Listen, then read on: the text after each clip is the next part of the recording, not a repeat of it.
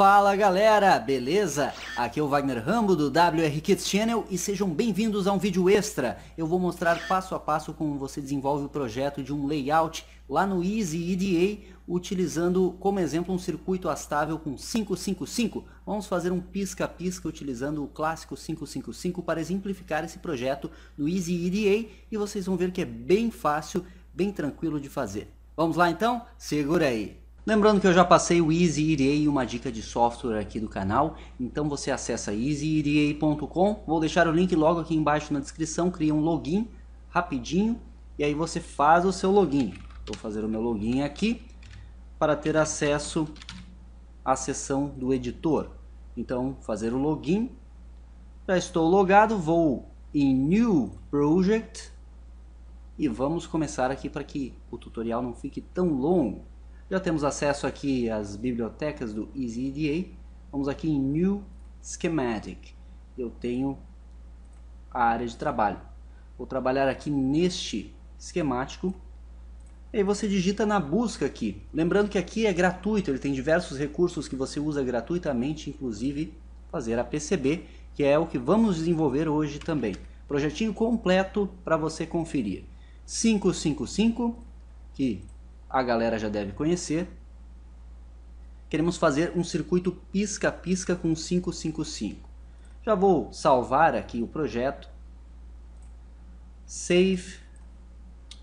Vamos chamar de pisca-pisca 555.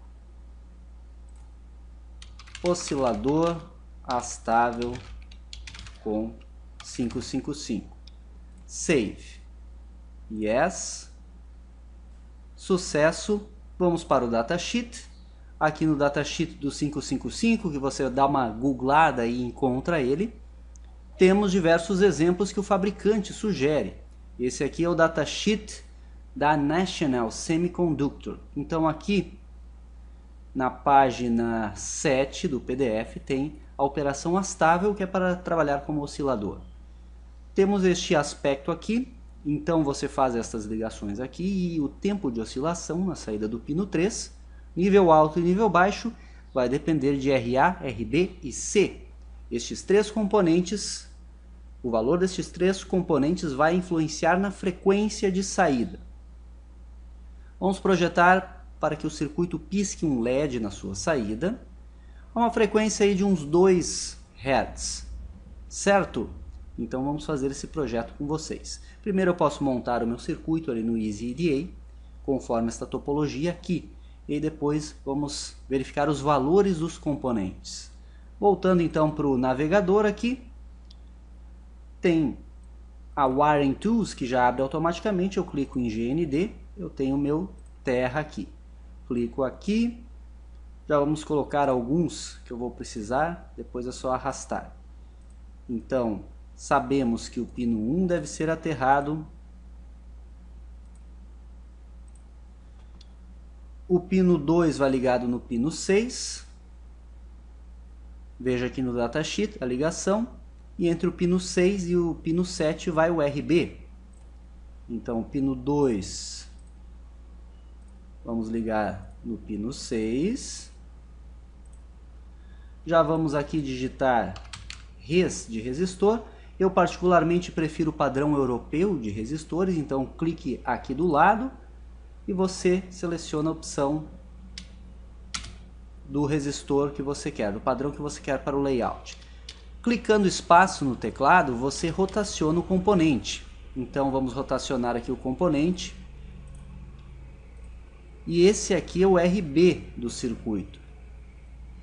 Vamos traçando a via, clicando com o botão esquerdo e vamos dar um duplo clique e colocar o nome conforme o datasheet, RB. O pino 7 vem aqui. E esse ponto vai para o nosso RA. Então aqui vamos chamar de RA. Eu dou um duplo clique e eu renomeio ele facilmente aqui o RA vai para VCC. Deixa eu só arrastar esse wire aqui. Melhor fazer o seguinte, Ctrl Z, delete e vamos traçar de novo. Pegar aqui e vir para cá. E agora vamos pegar aqui uma label de VCC, veja que tem VCC mais 5 volts, eu vou optar por VCC, pois podemos alimentar o 555 com outras tensões. Então aqui tem VCC, o pino 8 vai para o VCC e o pino 4 também vai para o VCC. Vamos ver se cabe um wire ali no meio, acho que não, então vamos fazer... Vamos refazer aqui, arrastando um pouquinho para a esquerda, para termos espaço.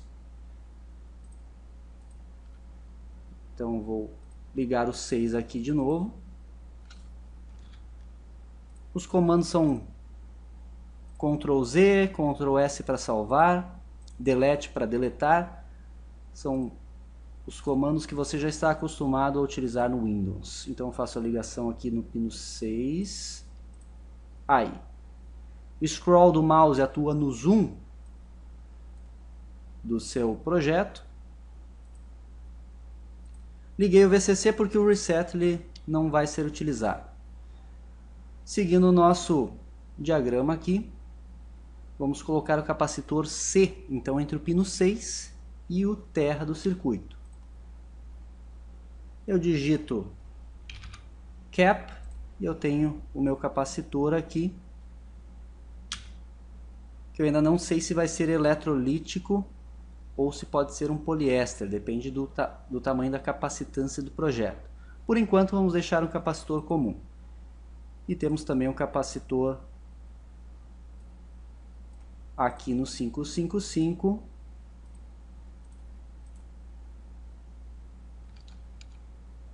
bem ligado aqui no pino 5 do 555 de 10 nano para estabilizar a tensão de limiar do nosso circuito. Então C1 é o capacitor que vai atuar na frequência e o C2 é o capacitor que vai no pino 5.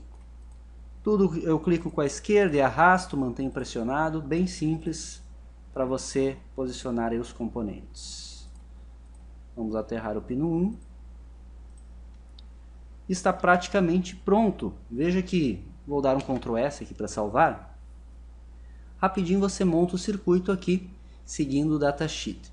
Vamos precisar também de um capacitor de desacoplamento, que vai entre os terminais de alimentação e tem o valor típico de 100 nanofarad.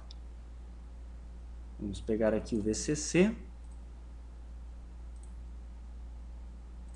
Um GND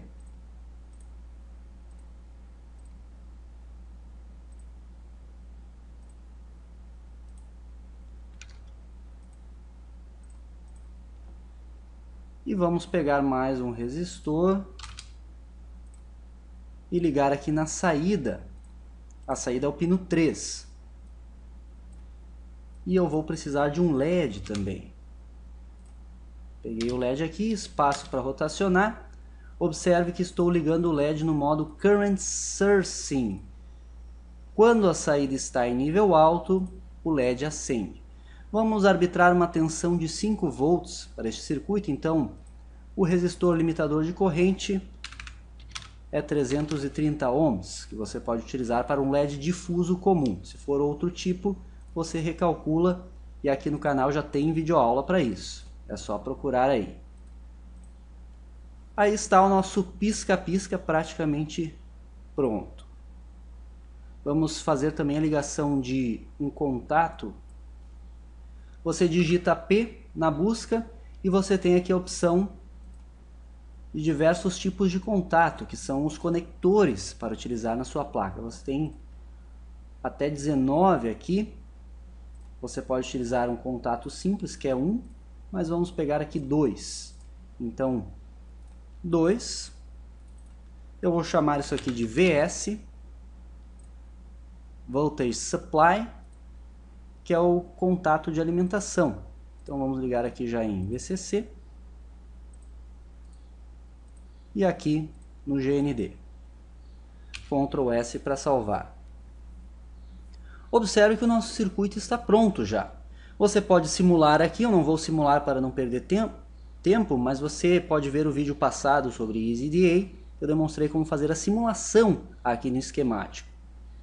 Vamos fazer o projeto dos valores destes três componentes, que é só isso que está faltando, e aí depois já vamos fazer a PCB aqui em tempo real com você.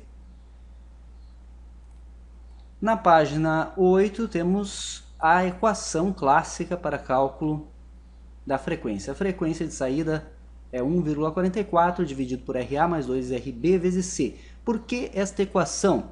É pela carga e descarga do capacitor. Eu já deduzi essa equação passo a passo com você em uma videoaula antiga do canal. Se você tem curiosidade, gosta de matemática, confira essa videoaula.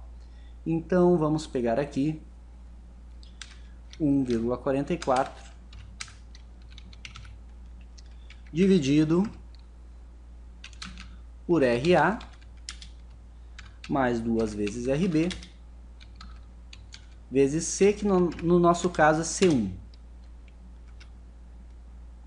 Ok, aí está nessa equação. Vamos fazer o seguinte.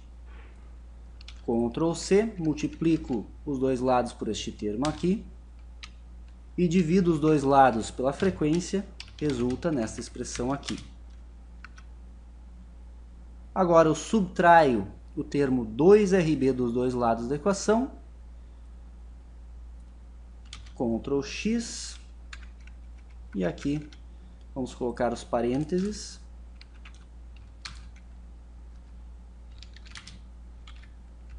menos duas vezes RB, Acho que é isso.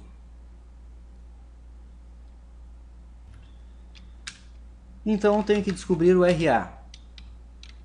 1,44 dividido por 2. 2 Hz é a frequência que eu quero. Beleza? Eu quero projetar para uma frequência de 2 Hz, então estou colocando 2 Hz. E o capacitor C1, vamos inicialmente testar um valor de 470 nano. Então, duas vezes 470 nano.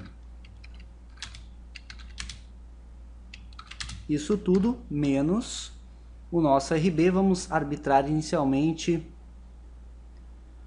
um valor de resistor, vamos pegar aí 220K. Então, 220 vezes 2, 440 mil ohms. Vamos fazer o cálculo na calculadora do Windows. 1,44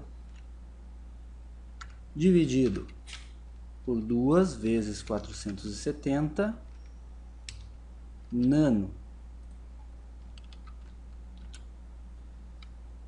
esse valor menos 440 mil. Aí 1,09 mega são valores comerciais. Vamos arredondar então para 1 mega ohms, aproximadamente 1 mega ohms. Aí para ver se vai dar uma frequência próxima dos 2 Hz, muito simples, jogamos os valores agora nessa equação de cima. Então, o RA, que é 1 mega, mais 440 mil, já considerando os 220K, vezes o capacitor de 470 nano farad dá esse valor aqui, memory save 1,44 dividido por memory read 2,12 Hz vai ser a frequência do nosso oscilador. Beleza, então 470 nano capacitor, 1 mega RA e 220K URB. Duplo clique aqui 220K, 1 mega e 100 nano. Pronto, galera, o circuito está projetado, funcionando. Você pode simular isso aqui para confirmar se a frequência está próxima. Simule, comente aqui embaixo os resultados, mas vamos para PCB. Você vem aqui, Convert Project to PCB. Clica aqui, vai abrir aí a área já prevendo o seu circuito. Então, temos todos os componentes aqui. E as ligações que você vai precisar. Então, novamente, espaço, você rotaciona o componente. Eu não sei se essa área aqui não vai ser pequena.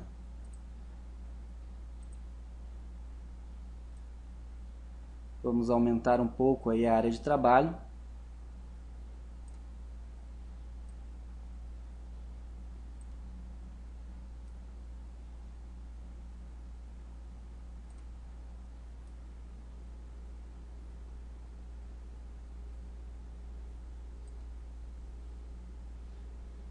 E aí vamos posicionando os componentes da melhor forma possível. O RB e o RA.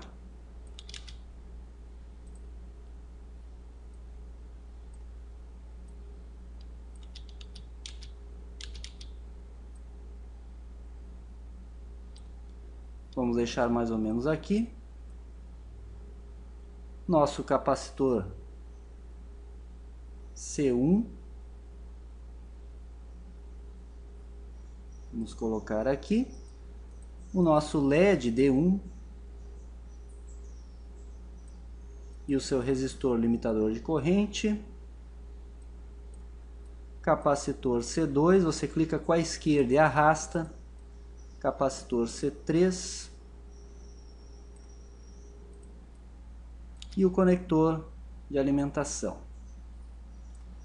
E aqui você pode rotacionar o nome também.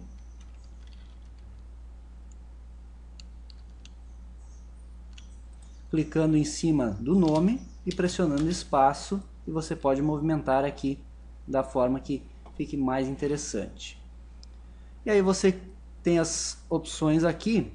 Vamos clicar em Trake Top layer é para o circuito na face superior, bottom layer é na face inferior. Vamos tentar fazer, como são componentes PTH de furos, não são SMD, vamos tentar fazer uma placa em circuito simples.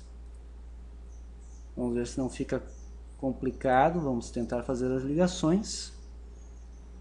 E aí você vai seguindo aqui as linhas Observe que o software te ajuda aqui, então é bem interessante. Ele ajuda você a encontrar os caminhos mais lógicos das interligações. Vou interligar aqui globalmente, aí vamos vendo se vai haver necessidade de fazer dupla face.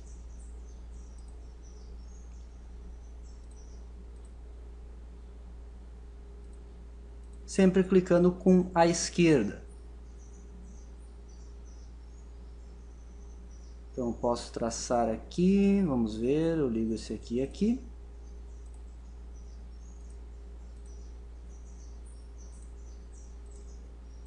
Nosso GND.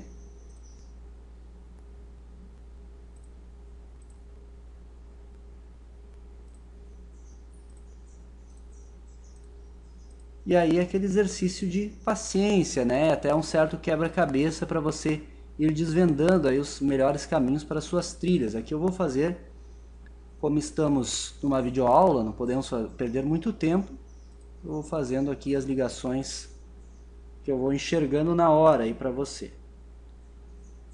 Vamos ver o que, que mais falta, temos mais quatro ligações para fazer. Aí vamos pegar aqui e fazer dupla face. Mas esse circuito aqui com mais tempo você consegue fazer ele tranquilamente uma face simples, ok? Então você clica aqui, Top Layer, e aí vamos traçar aqui as nossas vias que estão faltando. Quando você quer mudar de direção, você clica com a esquerda, ele muda para você.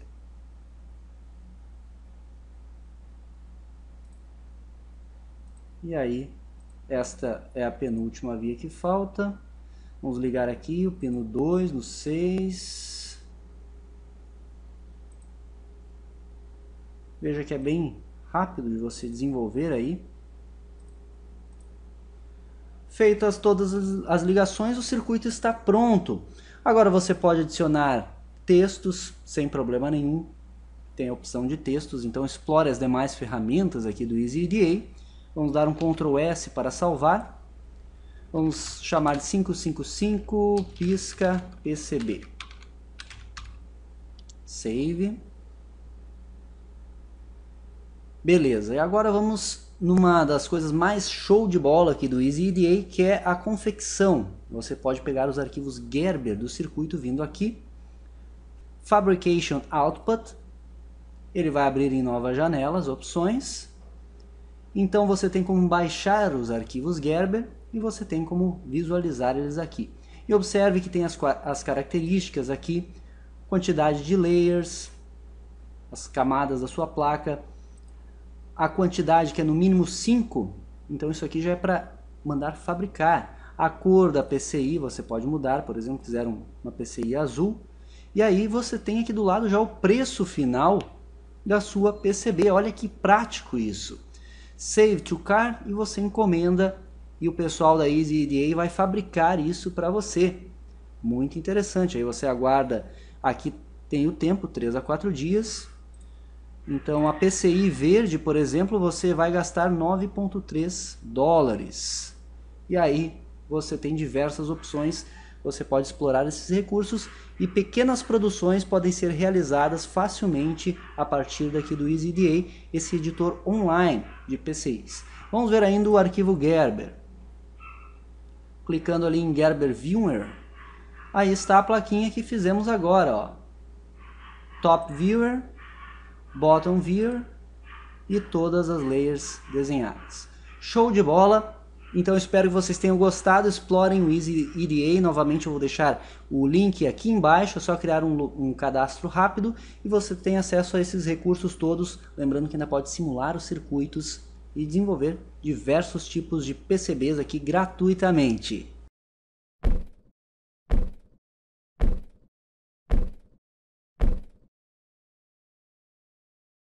E esse foi mais um vídeo aqui do WR Kids Channel. Deixe o seu like, favorite o vídeo e compartilhe com a galera. Clique no botão vermelho inscrever-se para acompanhar os nossos vídeos diários. Aqui tem vídeo todo dia, às vezes mais de um vídeo por dia, então se inscreva e compartilhe com toda a galera este conteúdo. Obrigado por assistir como sempre, nos siga nas redes sociais. Aquele abraço e até a próxima!